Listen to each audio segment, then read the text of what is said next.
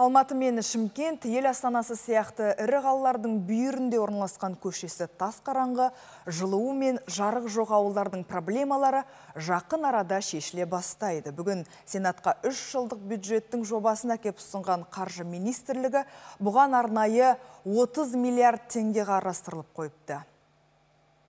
қопарды олар канализация тартамыз тартамыз әлі көше міне су болып жиналып тұр не кіре алмайсың не шыға алмайсың машина мына көшеде свет жанып тұрған ол да жанбай қалды Жанып тұрған жарықтың жанбай қалуына Нұр Сұлтан қаласының іргесінде орналасқан Илинк ауылы тұрғындарының еті әбден үйренген. Бірақ кеш құрым сабақтан қайтатын балаларының өміріне алаңдап, жандарын шүберекке түйумен келеді. Беті шөппен ғана жабылған ашық люктар онсыз да қараңғы көшемен жүретін адамның өміріне қауіп төндіріп тұр дейді.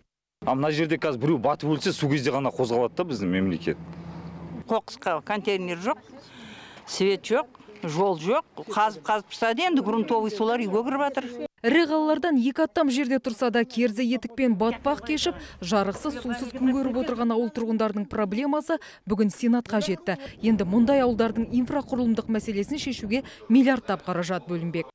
ірі қалалардың шет аймағының проблемаларын шешуге ағымдағы жылы 30 миллиард теңге бөлінетін болады оның ішінде нұрлы нұр сұлтан қаласы мен ақмола облысының қала маңындағы ауылдарына 15 миллиард теңге алматы қаласына 10 миллиард теңге және шымкент қаласына 5 миллиард теңге бөлінеді Ал Сенат депутаттары қай сала болмасын бюджет қаражаттарының тиімді жұмсалатынына күдікпен қарайды. Тіпті әлі күнге дейін бюджетті жоспарлаудың нақты механизмі жоқ деп мемлекет ақшасын тиімсіз жұмсайтындарды қатаң жазалауға шақырды.